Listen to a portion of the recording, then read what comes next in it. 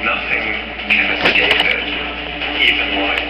There must be millions and millions of black holes Millions sitting around our galaxy. Nothing there to light them up. Millions and millions.